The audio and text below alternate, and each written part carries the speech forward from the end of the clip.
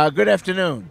Uh, this is Corky Kessler, and we're here at the uh, Vega Luna Beach Club. Uh, this is a funding panel, and uh, we want to thank uh, Paramex Films for being the producer of these panels.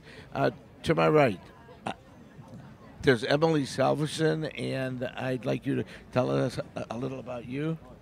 Hi, um, my name is Emily Salveson. Thanks so much, Corky, for having me. This is fabulous, and um, thank you for putting this on.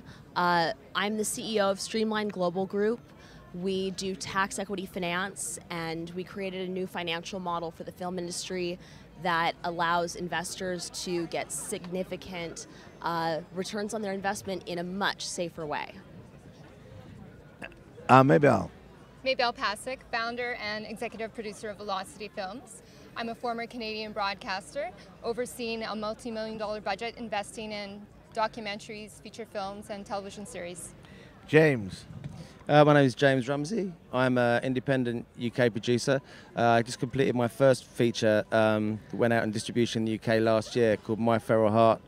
Um, I'm swimming with the big guys here because uh, mine was what we call a micro budget film, which took took um, advantage of some tax breaks in the UK, um, which spread the risk quite nicely for the investors. Uh, how, how do you define a, a micro budget? Micro budget um, is 100,000 100,000 pounds, which I guess makes no difference if you're talking in euros or dollars these days. Uh, So, right. yeah.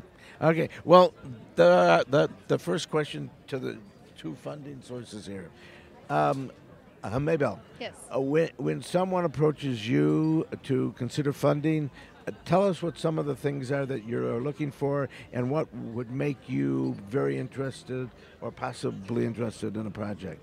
And to, to get behind a project, you're really looking for some strong key Up, creative. up, up. You're really looking for some strong key creative, and the cast is important as well. So I'm looking for projects that really have some greater commercial potential. And is that for Canada or for uh, the world? That's for the international market. All right. And so if someone came to you with a great story and the story touched your heart, touched your mind, touched your soul, uh, and called to you in a lot of various ways, you would never consider it if it didn't have talent or. C'est possible. It's possible that I could get on board with a project like that. Absolutely. But it has to be a passion project, for sure. Okay, Emily, what sort of thrills you? Well, um, I love hiking. um, when I look at a project, the first thing I always look at is the script because to me it all starts with a great script. Um, in my opinion, if you have a fabulous cast and the script is eh, it's sort of like building a house, having a cracked foundation, and then throwing a Fendi Casa couch over it. I mean, your house is still going to fall down the hill. It'll look great, but it's not gonna, it's not going to go well. Um, I also look for projects that fit our specific ratios. Um, we need to uh, look at projects that have some funding already in place and that are shot in the United States. Uh, all right, um, James. When, Yeah. when, when you're looking for for funding, um, and you talk to your funding sources, whoever they or he or she may be, how do you sell them? What is the important thing for those people who came into your project from before? Well, I think, I mean, first of all, I couldn't agree. What was your name again? Sorry. Emily. Emily, I couldn't, I couldn't agree more about you. about the script thing. So, I, I- so I think you- you're selling them on, you're enrolling them in the story. I talk about enrollment a lot. I think you can't make a film without enrollment. So, I'm sure, yeah, there's, there's when you get higher up the ladder and there's this huge finance and you're looking at the margins of return, then it becomes more of a spreadsheet. But where I'm sitting right now, and I'm looking to graduate to the next tier of budget, so 500 to a million. So that's still low budget. Um, but to me, I can do an enormous amount with that. But yeah, it's, it's finding the right script, and rolling them in the passion for the project. The one I just did fitted your model of it's a passion project with a uniqueness. For example, we had a lead actor with Down syndrome, and it was it, it, it spoke to the disabilities community, and it's, it's done very well there. Um, but yeah, you know, and I'm, and I'm talking about what kind of schemes I'm taking advantage of which minimise their risk. So if they're going to get tax rebates for their money, so you know for every pound they give me, they're only risking 70 pence or 70 cents, whatever. Those sorts of things is what I would talk to potential investors about. Um, but yeah, you know, I mean, it's a film industry, so we can offer them stuff that the other, other, other industries can't. There's a certain perceived glamour that comes with the film industry, and uh, a lot of people want to be part of that and see how a set works and meet the actors and things like Uh, that. uh, J- James, it's it's uh, very interesting. You uh, call y- your incentives in England schemes. Uh, Scheme has a totally different uh, meaning, a- and we look at it in the United States. Um, Right, right. I I um, am story driven, and I believe that a good story and a good team behind it, which adds credibility and trust and and feasibility as well. and yeah. feasibility is equally important Yeah. in the, uh, the, the process. Uh, several of my projects um, and some of the projects that I've referred to Emily are are, as she said, story driven. Then Yeah. the, the the question is, even if it doesn't have talent, she knows with the right talent, with a good story, we all can work to get the right talent to become Yeah. part of the story. But Absolutely. stars do not make the movie. Uh, Right. that- Certainly, unknowns can add a unique flavor to a film if it has a really strong script.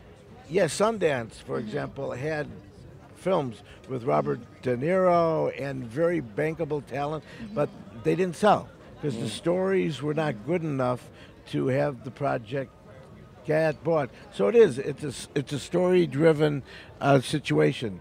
Um, when when you started out, which is fairly soon, what made you start out in the field that you're now in? I wanted to solve an unsolvable problem.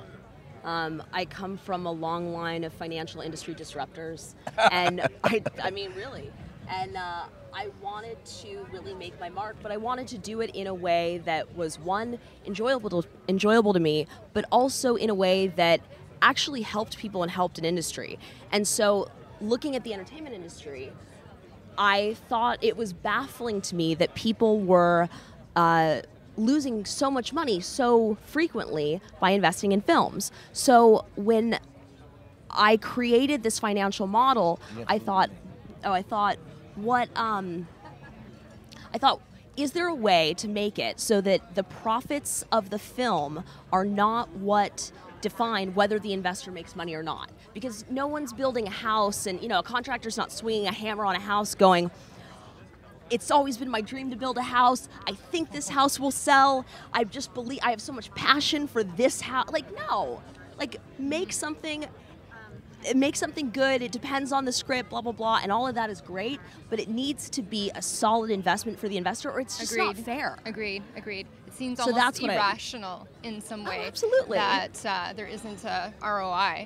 And, Exactly. And that's critically important that we You have are. to pull up your- That's critically important that we're sensitive to that for investors because we want them to come back. We want to build a relationship with them. And I think that we need to demonstrate that more and, and demonstrate how that can happen.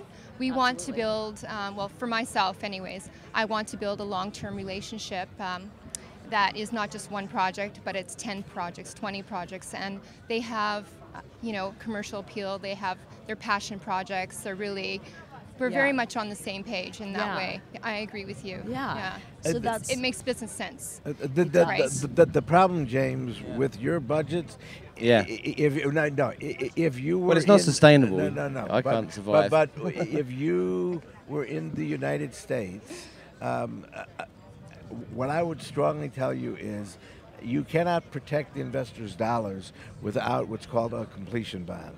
Right. And and and you, you your budgets do not raise to a level where No. you could get a Sure. completion bond. So they have to trust you. And sometimes, no matter how good your line producers or Mm. how good you are, stuff happens and you go over budget. And I'm not, I'm, I'm Yeah, not sure. faulting. And then where do you find that that money? And that's the hardest and the most expensive money to do. So as you go through your journey and you're you're you're in your lower budget movies. Think about the fact that there's no way you can guarantee your investors a finished movie. There is an exception, Well, though, yeah. to that rule.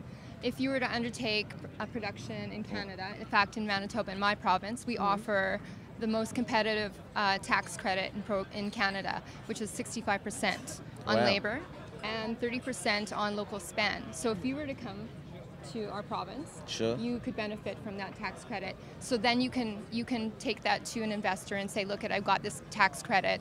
The bank will finance 80 up to 80% of the tax Yeah. credit. So that is a mechanism to help leverage some financing and give some security to an investor. And Sure, also, and that's- in the United States, what's important is that with IRS Code 181, is that the productions that had at least, you know, that started shooting last year or complete, nearly completed projects, um, and a lot of the projects that we've grandfathered in, whether or not, because that's always the question of the investor, is how do I know that this won't be some runaway of production? I've heard so many horror stories.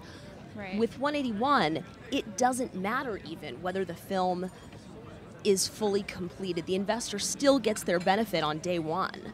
And so that's something that's really important. I think that, you know, studios and uh, groups like the WGA and the DGA should be lobbying hard for IRS Code 181 to come back. Is, is 181 a, a tax rebate? Because my, Uh, my, uh, you- uh, you could wipe out people's federal taxes. It's not Yeah. a- Ah, ta- ta- that's tax a rebate. beneficial, Uh, yeah, uh, yeah, This- okay, but but but, but wait. Yeah. we we've been given the the, The the, cut. cut. Yes. Yeah. So, a final thought, James. Well, my final thought, there's, there's, I've listened a lot because you guys are ahead of the queue for me in terms of experience and the kind of budgets that you're working with and financing, which is great for me. I've been absolutely heartened by your emphasis 100% on look, and yours, we don't care about cast if the story is wrong. So put, put the story first and build the house on that. Um, loving hearing about the tax breaks in Manitoba, so we I want to talk more about that.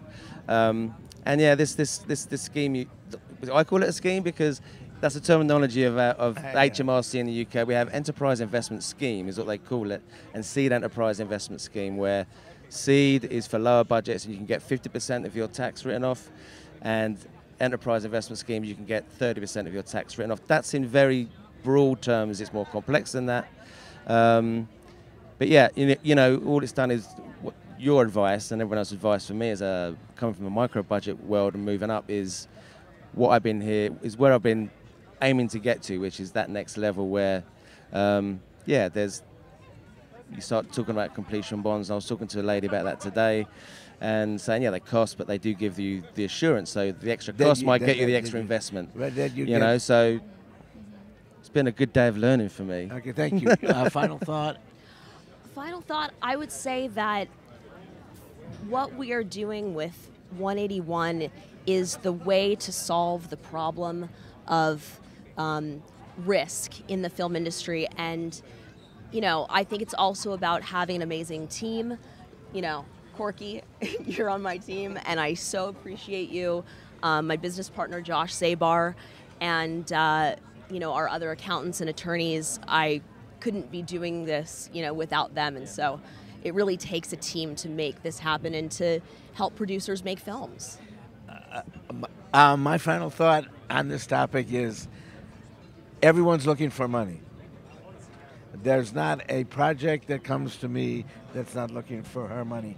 And they're chasing the same money, and a hundred or a thousand people are chasing the same same sources. So you have to differentiate yourself from those hundred or thousand people that are looking for the same money. Uh, It, it, it, it sounds simple, but that's what it is. A- a- And I thank all of you for being here. Thank you for having you us, very Corky. much. Thank you for This is inviting. Thank you. fabulous.